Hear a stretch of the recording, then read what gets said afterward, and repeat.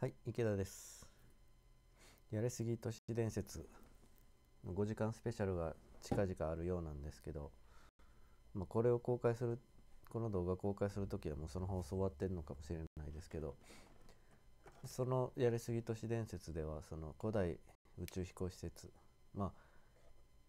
都市伝説についてもいろんなジャンルがあって、陰謀論的な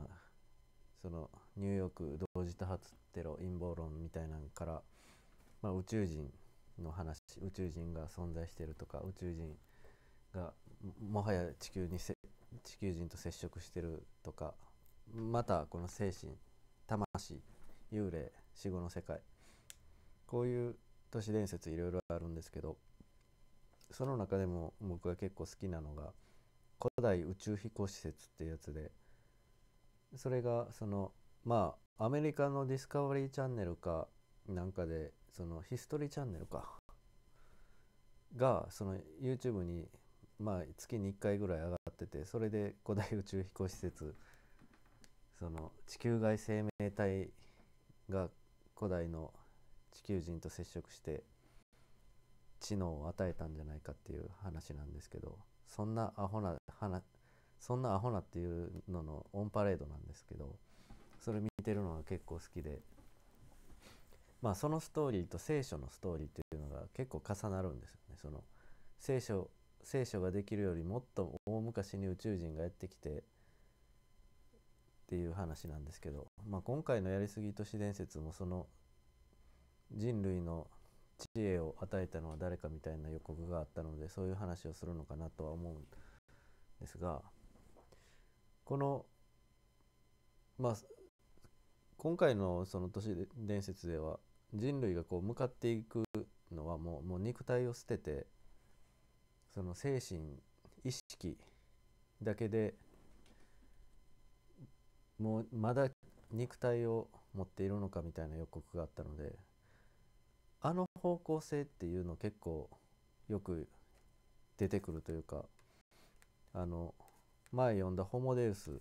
その「サピエンス全史」っていう超有名なベストセラーを書いた人が次に書いた「ホモデウス人間はついに神になるのか」っていう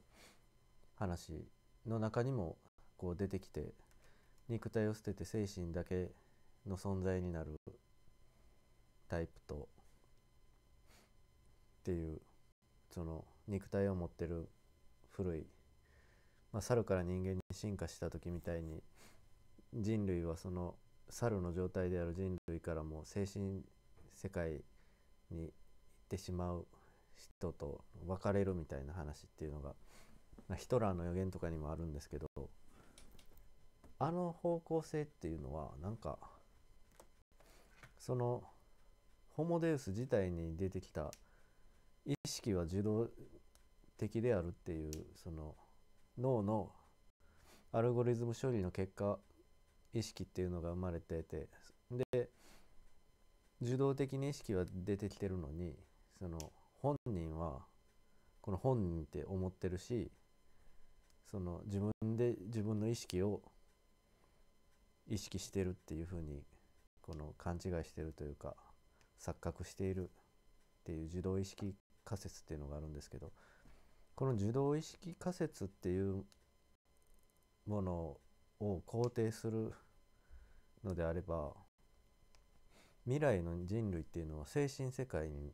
移行するようにはならないような気がするんですよね。そのなんせ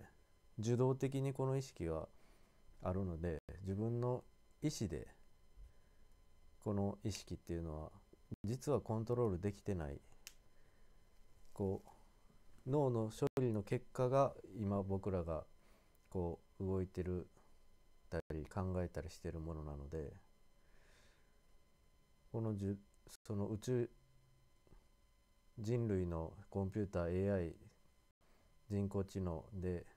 ヒューマノイドななんていうかその改造人間というかコンピューターと脳が接続されてみたいななったとしても意識っていうのは我が物じゃないっていうのがそのなのでなんていうかまあやりすぎのスペシャルを見てないの とも言えないですけど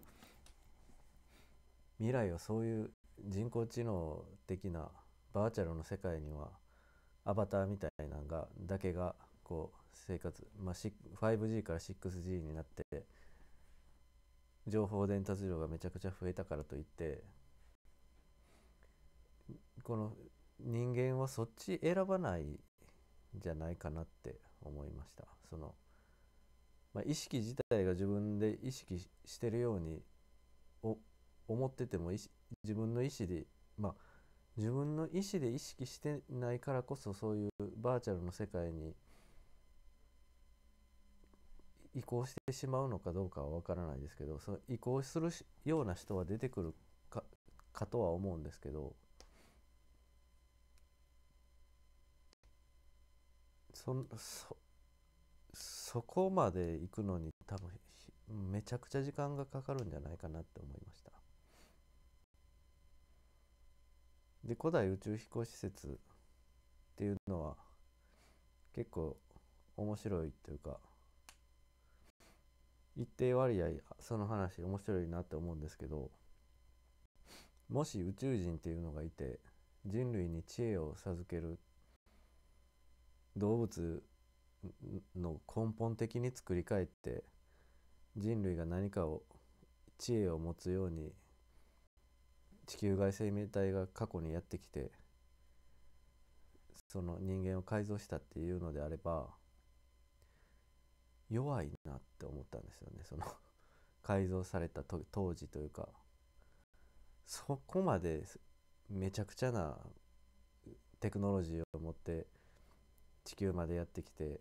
そいつらが人類大昔の人類の脳をいじったのいじった割には人間のその当時今はもう結構発達してきてますけど江戸時代とか室町時代とかそういうのを経て現代になってるんですけど弱い。もし本当に宇宙人が宇宙人っていうテクノロジーがやってきて人類を改造したっていうまあ金を採掘するためっていう変なよくわからん理屈があるんですけどその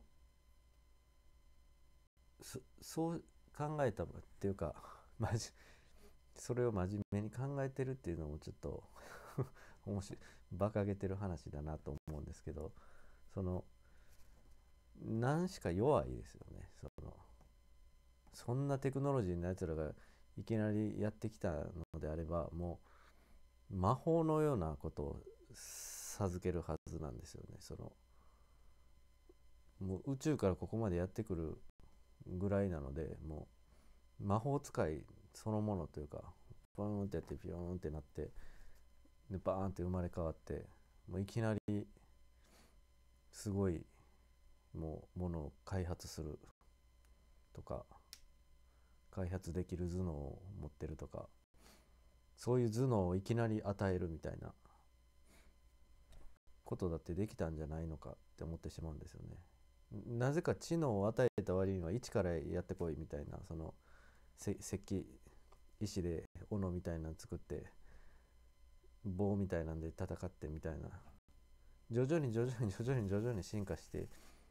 いってるっていうのがなんか古代宇宙飛行施設のちょっと弱弱点じゃないですけど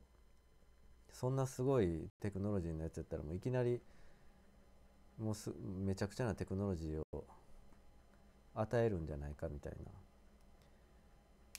この地球のテクノロジーでさえあと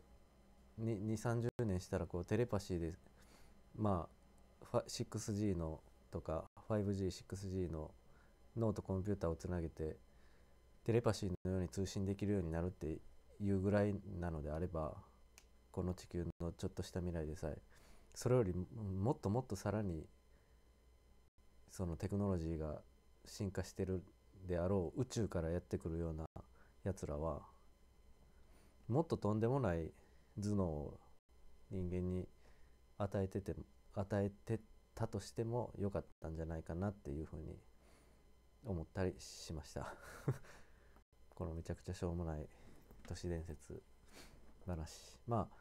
やりすぎ都市伝説はテレビですけど YouTube の中にも都市伝説面白いことを言ってる人がいろいろいてまあ直木マンっていう直木マンショーっていう100万人の登録者がいる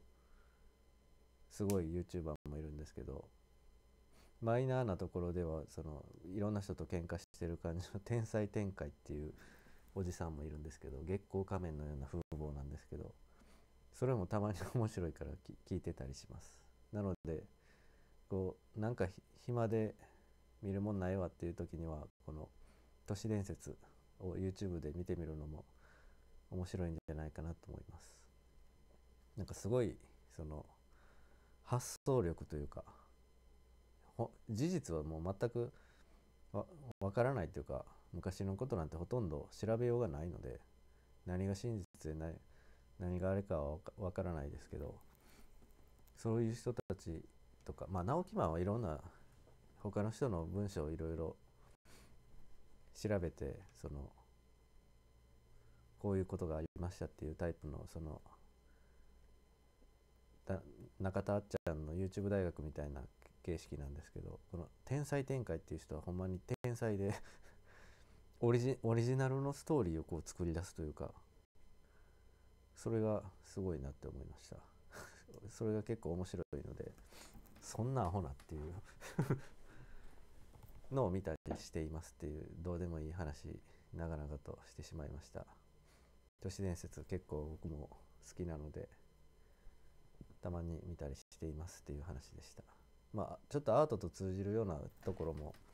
若干あったりするのでっていう話でした。すいません。以上。最後までご視聴いただきましてありがとうございました。